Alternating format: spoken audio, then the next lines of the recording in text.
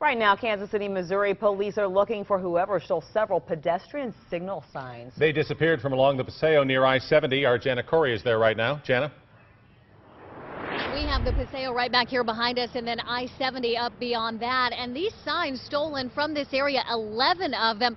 And let me just show you what we're talking about. There was a sign right down here and you can see it is gone right now. So ordinarily a pedestrian would come up, would push that button to try to cross the street. But now they're going to have to just watch traffic carefully as we are to make sure that they can safely cross.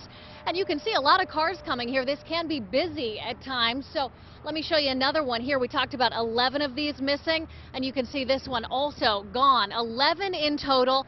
This is the area of Paseo here right near I-70. And police now have this warning because as we mentioned, this can be a busy area with a lot of traffic. You can see some cars stopped right there.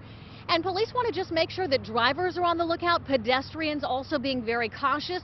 As they say, these signs could take up to three weeks to replace. Paseo also very busy. They have that school nearby, Manual Career Tech High School, so students walking to school in this area.